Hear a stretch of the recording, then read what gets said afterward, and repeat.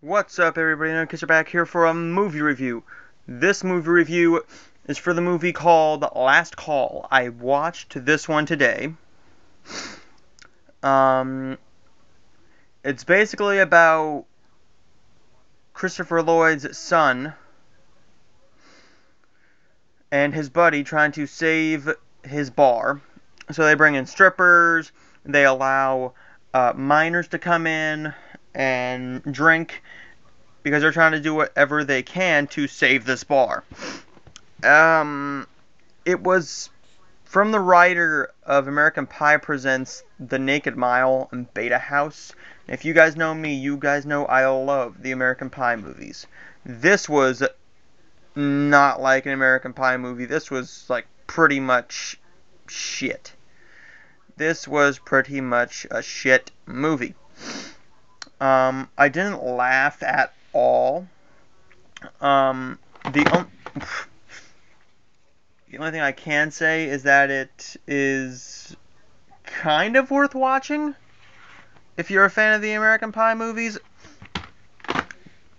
Kind of like me. If you're a fan of the American Pie movies and you wanted to check these out, go ahead and see them. They're not anything you need to see, but still, you can watch them if you want to.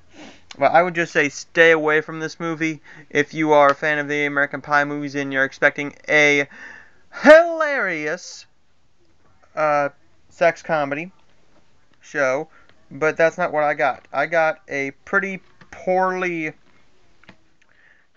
written movie about them trying to save a bar. And with a lot of drinking, with unnecessary nudity. Like, uh, why they... Why did they need to make that woman a stripper? And David DeLuise in this movie, you guys might know him from Wizards of Waverly Place and uh, Vampires Suck. You might know him from that. Uh, what else is there to say about this movie? There's nothing else to say about this movie. So I'm going to go, guys. So I'm going to give last call. I'm going to give it a. I'm going to give it a D.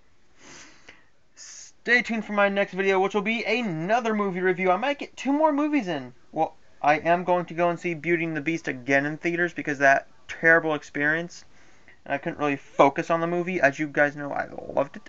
But I'm going to give Last Call a D. Uh, and I want to thank you guys for watching this video. If you liked it, please make sure you give it a thumbs up. If you didn't, well, I am so sorry, but you clicked on the stupid thing. But if you did, please like this video. Leave a little comment down below and subscribe for more. And I will see you guys for my next movie review, uh, which will more than likely be for the movie. Oh, by the way, I put my uh, VCR right there. I put a VCR in my room, so it's not in uh, the living room anymore. It's in my room, so I'm not bothering anybody. But uh, the next movie I plan on watching is Unbreakable. I haven't reviewed this yet. I know Bruce Willis, Samuel L. Jackson, and then if I have enough time tonight, I was looking for a short movie to go along with this one, and I think I found it. It's 84 minutes uh, with Tim Meadows, 2000 movie called The Ladies Man.